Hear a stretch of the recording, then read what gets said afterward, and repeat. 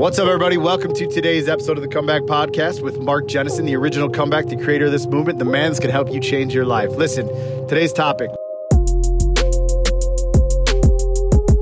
Why can't you just stop? That question maybe came from your wife, maybe your grandmother, maybe your dad, maybe your son, maybe, I don't know, maybe from yourself, right? Day in and day out, I used to wrangle with this question inside of my mind Why can't you just stop? Just put it down. And I would tell myself, and I would tell the people who asking me these questions, because just, if it was that easy, I could just do it. And the truth is, it was a mask. That wasn't even my opinion. That was what society had told me. Watching, reading, getting on Google, calling it rehabs, in and out of all the shit that I've been through. Like, they made me real. They made me believe that it was so fucking difficult for me to get control of my thoughts, my emotions, my actions that I started believing, hey, I'm a fucking victim. I, if it, I need, I need to admit that I'm powerless. I need to give up on my life. I need to just not drink for today. I shouldn't run a business. I can't worry about my kids. I can only worry about myself. Why can't you just stop? And you wrangle with that question because, see, the truth is, the loved ones that are asking you this, and even yourself that's asking yourself this question, you truly want to stop. They want you to stop. You want better. You need to understand this today. It is a choice.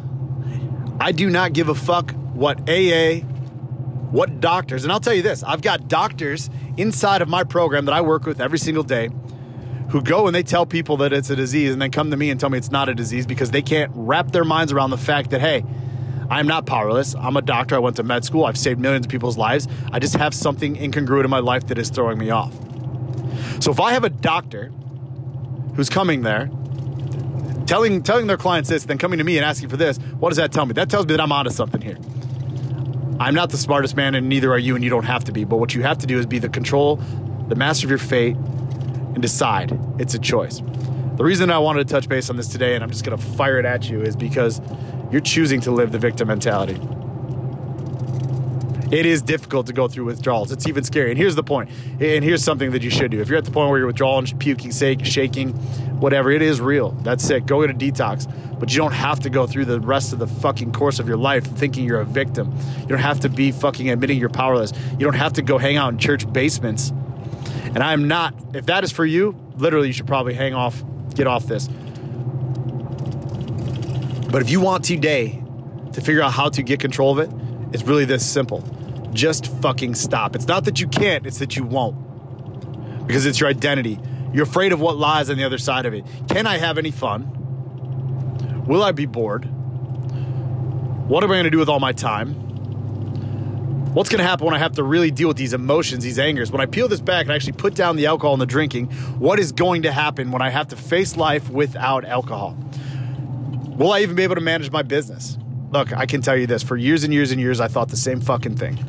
I thought that it was my. I thought that that was my superpower. I literally thought that the more I drank, the more I did. There was a time in my life that I would make more money. I would close deals over drinks, just like you. I would take my employees out for drinks. Fridays afternoon, and go get some beer, have one of the guys go and get beer, and I thought it was just routine to what I did. I'm not telling you that you have to quit alcohol at all. What I'm telling you is you have to make a choice to get control of your life control of your mind, control of your actions, control of your emotions. Ultimately, whether you're doing it for yourself, whether you're doing it for your kids, whether you're doing it for your wife, your future, whatever it is, you owe it to the world. You owe it to yourself to give it one shot and see what it's like to be in control of your fucking life. So, the question I have for you today is why can't you just stop? Because the truth is, it's truly that simple. Listen, hey, that's that's it for today on the Comeback Podcast. Just a very, very short one. I just wanted to jump on here, make this video for you guys.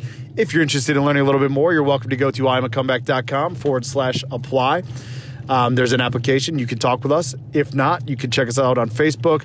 Get in. We've got free programs. We've got many different things. But what I'd like you to do is just do something. And today, that something is make a fucking choice. Have a great day. I'm a comeback.